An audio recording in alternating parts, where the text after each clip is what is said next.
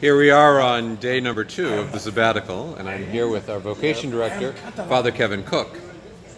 Father Kevin, what do you think about vocations? They're good. They're good. They're really good. You should do it.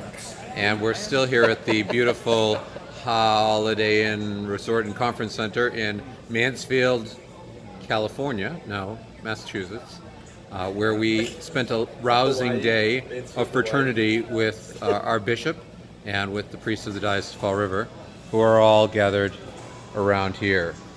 There they all are. Notice only one is in clerics. That's right.